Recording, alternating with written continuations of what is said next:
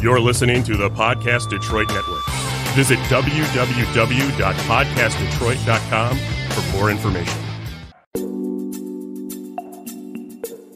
Welcome to Smart Sex, Smart Love. We're talking about sex goes beyond the taboos, and talking about love goes beyond the honeymoon. I'm Dr. Joe Kort. Thanks for tuning in. Hello, and welcome back to Smart Sex, Smart Love. Thank you for tuning in. And if this is your first time listening to my show, welcome. Today I'm joined by Kate Anthony. Kate is the host of the critically acclaimed podcast, the Divorce Survival Guide podcast, and the creator of the groundbreaking online coaching program, Should I Stay or Should I Go? which helps women make the most difficult decisions of their lives using coaching tools, relationship education, geeky neuro- neuroscience, and deep self work. She's widely known as an expert in communication, co parenting, divorce, and emotional intelligence. In addition to her online programs, Kate also works privately with clients all over the world. Based in Los Angeles, Kate is here to talk about saving or splitting your relationship and asking yourself the hardest question of all should I stay or should I go? Welcome, Kate. Thank you so much for having me, Joe every time I read the should I stay or should I go, I think of that song. Yes. you know what I mean? Yeah. I do know what you mean. Actually, my one of my colleagues, we've been doing a weekly Facebook Live and he started playing it and I was like, you know we're gonna get in trouble. And indeed we got we, we got in trouble. We got flagged by Facebook. oh yeah, right. Because yeah, you're using music that you're not paying them for. Right, right, right. Exactly, exactly. Wah, wah. well, how did you come up how did you come to uh, to create this? Should I stay or should I go? And um, yeah. yeah, where did it originate? Well, it really originated with my own experience. Um, I had been in a marriage that was uh, not great, to say the least, mm-hmm. for you know, uh, you know, about ten years, and I was asking myself this question all the time: Should I stay? Should I go? What should I do? Should I stay for my kid? Everyone says stay in your marriage for your kids, like all of this stuff, and I, and I, I kind of wanted a burning bush. I really wanted someone to give me some clarity about, you know, weighing all the options, right? Yeah. Mm-hmm. And um, I eventually asked a friend of mine, he was the only person I really knew who had been divorced before. Um, besides my parents. And he turned to me and he was very kind. And I said, How do you know? How do you know when it's time to go? And he said, When you know, you'll know. And I was like, that's not helpful because right, right. it's been like three years and I still don't know. And, you know, turns out there was actually a lot of truth to what he said, right? You know, when I knew, I really knew. And it was like a frying pan hit me upside the head in a moment of clarity when I mm. absolutely mm. knew. Um, and one of the things that I knew was that I had to leave my marriage for my son because the what we were modeling to him was so toxic and so unhealthy. And i knew that my son was going to grow up to repeat these patterns. Um, and i knew that there was that the the the most loving and kind thing i could do for my child was to get out of this marriage um, and for to allow each of us the possibility to create something healthier. Because um, my ex and I really brought out the worst in each other. And I knew that we were both probably better people than mm-hmm. we were in our marriage, right? Um, so, but at the same time, I still felt like I needed more answers than just the one that I knew in the flash of clarity. And as I began my work as a coach after I got divorced, I started digging more deeply into this question and why people get divorced and why people are dissatisfied in marriages. And I sort of came up with a framework for kind of all the all the stuff you need to know. And um, that eventually became my program. so, what do you think? Yeah. What do you think of when people say, um, I'm staying in my marriage for my son? Leaving would not be for my son. My son needs a stable house no matter how I'm getting along with the partner. What do you say to people? Well, I say that, you know, what I say is, is the relationship that you have right now one that you actually want for your children? Because we grow, we do tend to recreate our childhood homes in our future relationships. And so, you know, are you okay with your child being in exactly this kind of marriage. And, you know, for people who are really unhealthy and for whom it's really toxic, the answer is, oh God, no. you know? And yeah. then I say, okay, okay, well then let's look at that, right? What are the reasons you think you're staying for your son or your children? You know, and one of the reasons is that um, you know, they think people think that two separate homes are uh, uh that, that one unhappy home is better for children than two separate homes. And you know, there's a lot of data and a lot of science to to disprove that theory. Um, that actually children from divorce in, in which at and some only one of the households has to be um, should be or can be you know nurturing and safe even if you're you know another reason that people stay is that they they want to mitigate um, the toxicity so if, mm-hmm, if their partner is emotionally abusive or anything like that, or you know, physical abuse is totally a totally separate issue. But if there's emotional abuse happening and um, verbal abuse uh, or just toxicity, people think that if they stay, they can mitigate that. They can yeah. sort of control the environment. And you know, what I say to that is, you're actually giving that an okay. You're actually signing off and, and sort of co-signing with that uh, behavior by being there. If you take them out, even if the other parent continues to be toxic and verbally abusive, if you create a loving, safe, nurturing space for your children in, in your home, even if they're only there 50% of the time, it is far better than them being in that toxicity 100% of the time because there's no mm. safety there. Mm-hmm. Right. That makes total sense to me. Yes.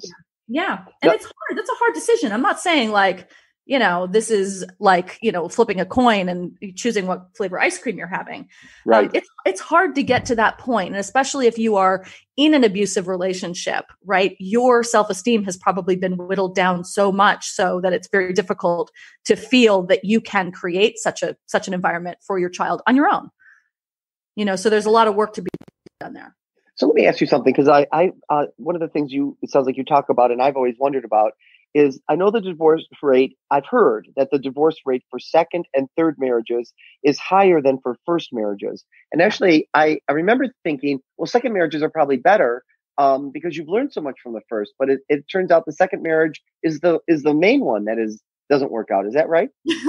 yeah, it's kind of sad. We get worse at it. so Why? the divorce rate for first marriages is, you know, around 50%, right? And then right for second marriages, it's about 68%.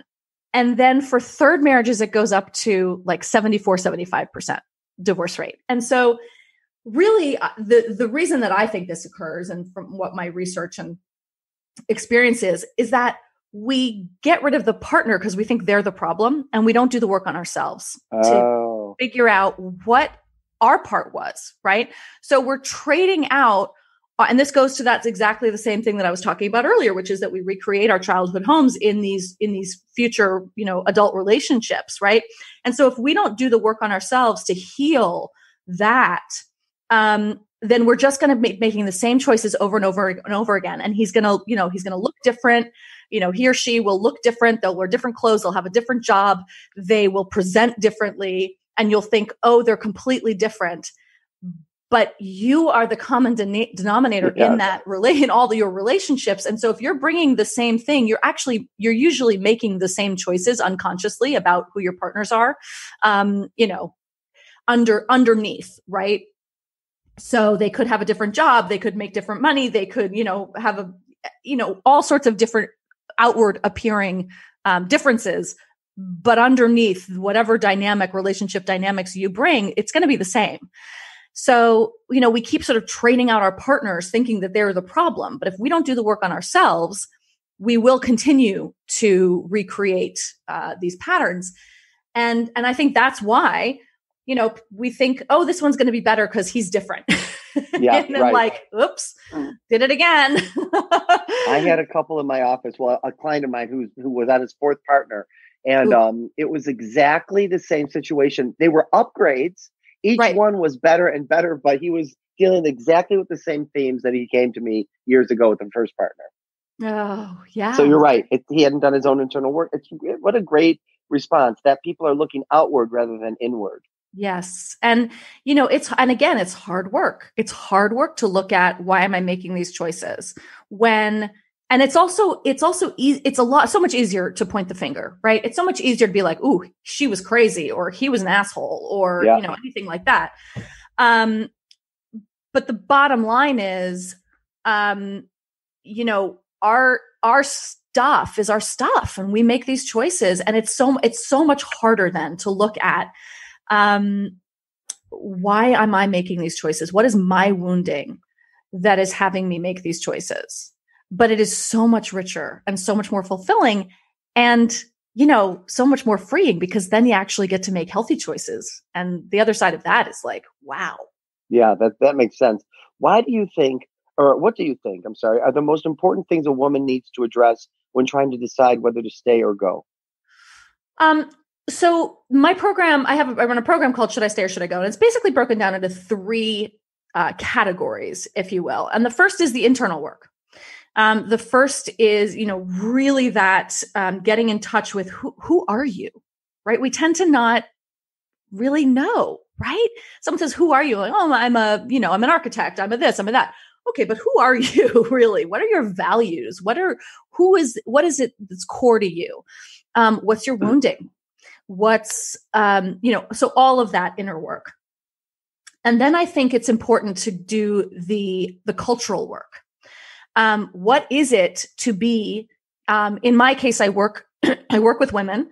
Um, and I work with um, with hetero women, cis hetero women, generally speaking, um, just because that's my area of expertise. Because that's kind of that's what I am. Um, and so, you know, what is it to be in a cis hetero relationship in the 21st century? What does that mean, right? So, um, you know, we have all these these conversations about you know bearing the mental load and all of that, and that's real, right? That is absolutely real, and um does is do you leave your marriage because he's not carrying his quote weight in the household when that is actually something that is fairly universal you know as as studies have shown time and time again they just did another gallup poll about it and there's long re, you know pew research studies about this that you know this is this is the fact of being in a cis hetero relationship in the 21st century right? So we have to look at all the cultural aspects. Why are we so tired you know what is it about the fact that the public schools the, the public and private school system essentially relies on on women's labor um, in the form of ptas right to run their systems right no wonder we're exhausted um, Yes. so I deal with the cultural issues and then the interpersonal, right? What is effective communication? What is the science of communication? Um, how do we, how do you deal with your, when you get triggered? How are you communicating through that? How are you owning yourself and, um, and effectively communicating through, you know, everything? Um, so I think that those, uh, those are the three main things that I deal with, right? There's the inner work, the personal work, there's the interpersonal work, and then there's the cultural exploration. And it's a lot. that is a lot. It's a lot. Yeah, it is a lot, but I think it's important, right? I do think it's I think it's really important for me to say, "Hmm, wow, you know, I have this history of doing this." And, you know, my therapist has been really amazing for me in many ways because he talks to me a lot about when I go in there and try to like pathologize myself. Like, I always do this thing and I'm always like this and blah, blah, blah." and he's like, yeah, because that's what women are trained to do. That's how women. You know, this is a this is a man too, which I, I love. You know, Yeah. and he, he really breaks down like what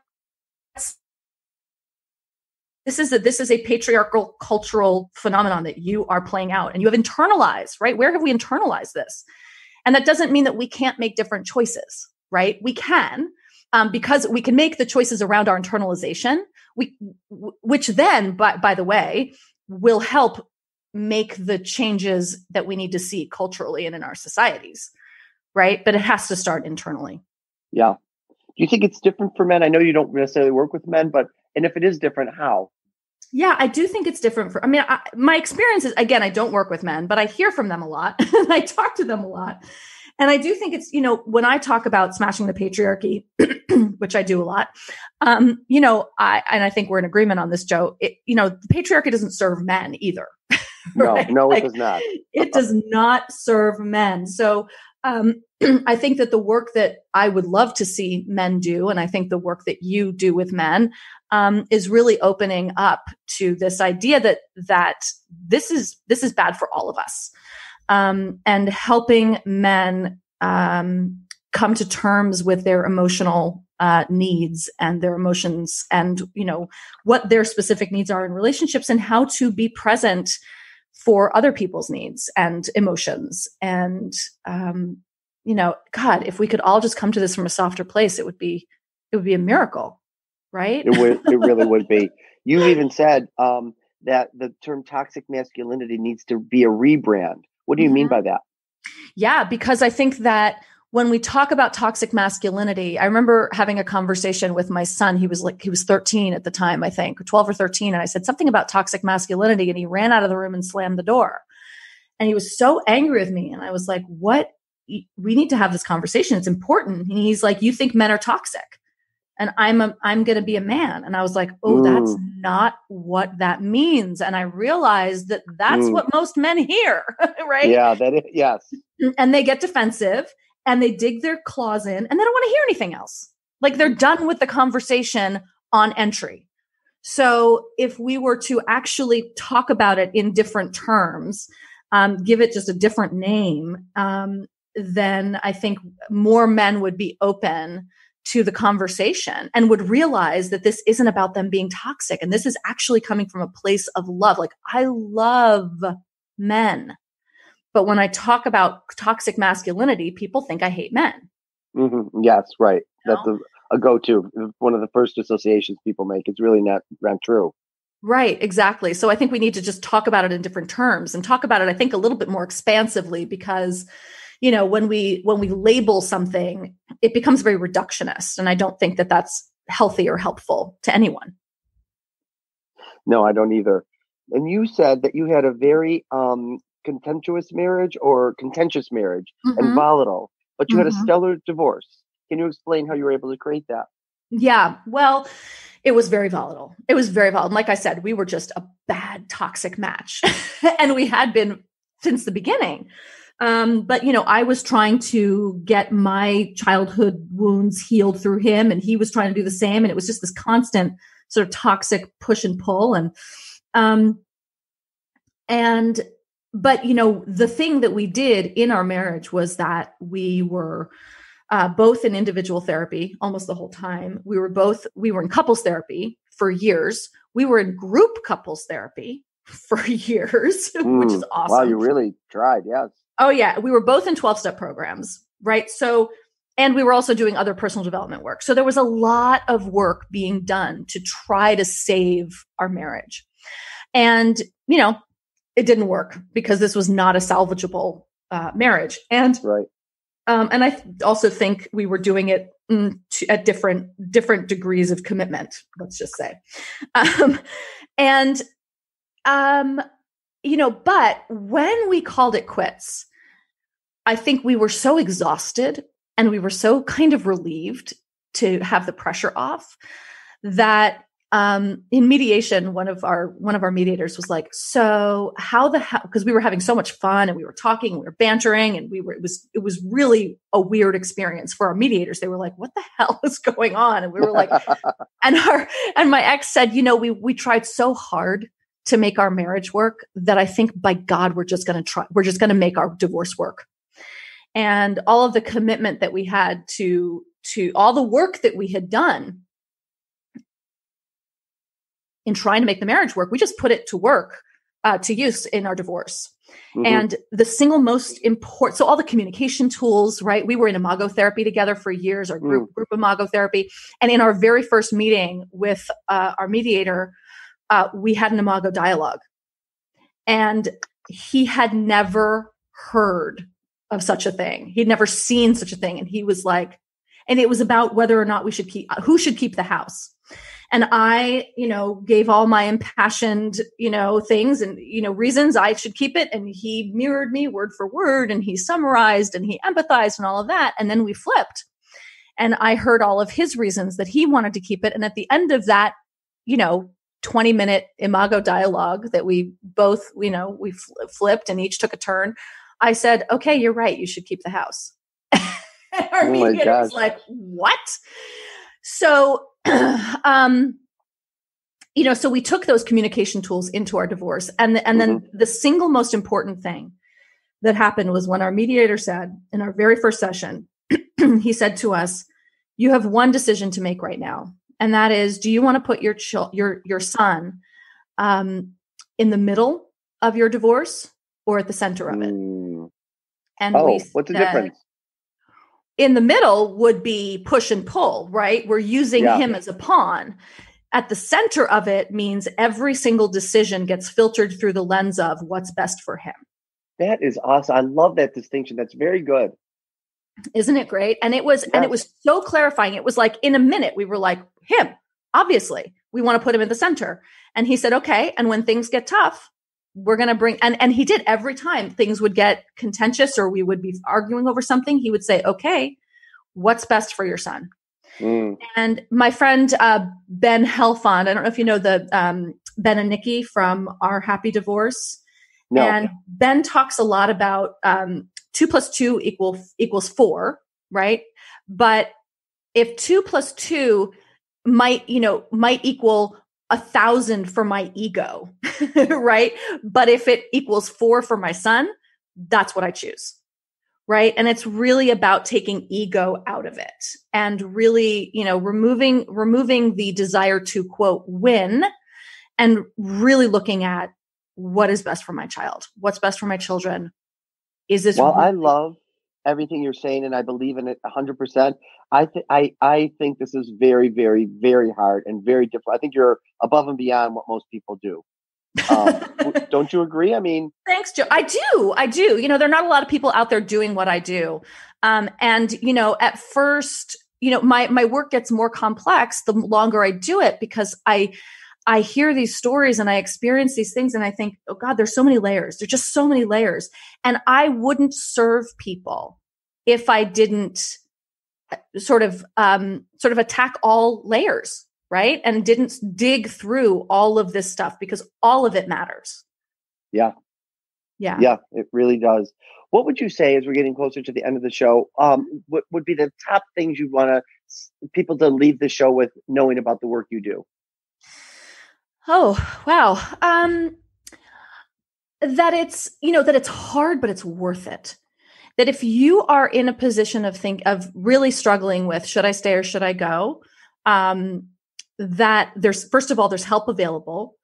Um, there's a community. I have a, run a Facebook group with over 2,000 women in it that are just that are struggling with this exact same thing. And every time someone posts, someone's like, "Oh my god, that's my that's my experience. I can't believe that someone else feels that way." Um, so you're not alone. Um, and that this is a deeply complex time for relationships.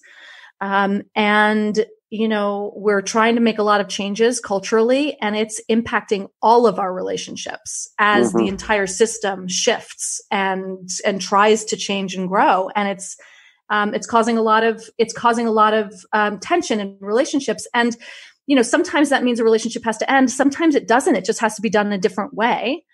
And, you know, those are the skills are, are so important. You know, doing the self work is so, so, so important. I can't stress it enough. Um, and so I want people to know that there's help available, that it really is out there. Now, what if they have a partner that's unwilling to do the work on the other side? Can it still be done? Honestly, I don't think so. Um, I if your partner isn't willing to if you if you've been saying to your partner for you know years and years, hey, um, I'm unhappy and I think we need to go to therapy together because you know I I'm like a, I'm like I I want myself to I want my work to be sort of like the last stop, right?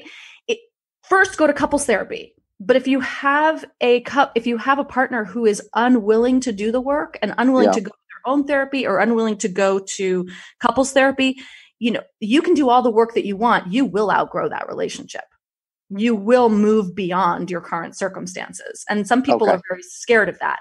But I mean, what do you think, Joe? I don't think so. No, I know there's a book about couples therapy for one. I don't know the name of it. I have it on my list to read, Mm. but she feels you can do couples therapy uh, with just one person. Um, And I don't know that you can do uncoupling with just one person very well. I don't think Right. so. Right. That's, I mean, I yeah, I don't know. I'm interested in that. Yeah, yeah. And, oh, I'm so skeptically me- interested. I know it is. I'm it's skeptical too. All No. right. So tell people where they can find you. You know, they want to continue the conversation or join one of your groups. Yeah. So um, kateanthony.com is my website. My uh, on the homepage, there are links to join the group, listen to the podcast. The podcast is the Divorce Survival Guide podcast. It's on every place you can possibly listen to podcasts. Awesome. um, yeah, we were just, I was just uh, recommended by the New York Times last week. So that's wow. no That's crazy. great. Yeah. So yeah, the podcast and my Facebook group, you can there's a link to join, or if you're on Facebook and you search should I stay or should I go, my group will come up. This is so helpful, Kate. I really appreciate you coming on the show. Um, very helpful for people to hear and need to hear. And uh, maybe we'll have you back, and maybe we won't be able to get you back if you're on the New York Times uh, re- recommendation. You're going to be on Oprah. Who knows where you're heading? Oh my gosh. I will always come back to talk to you, Joe. 100%. I love it. Thank you so much, Kate. Thanks for being on the show. And I'd like to thank everyone for listening and to not forget to follow me on Instagram and Twitter at Dr. Joe Kort, D R J O E K O R T. And please rate, review, and subscribe to my podcast. See you next time. Thanks for listening to this episode of Smart Sex, Smart Love. I'm Dr. Joe Kort, and you can find me on joekort.com. That's J O E K O R T.com. See you next time.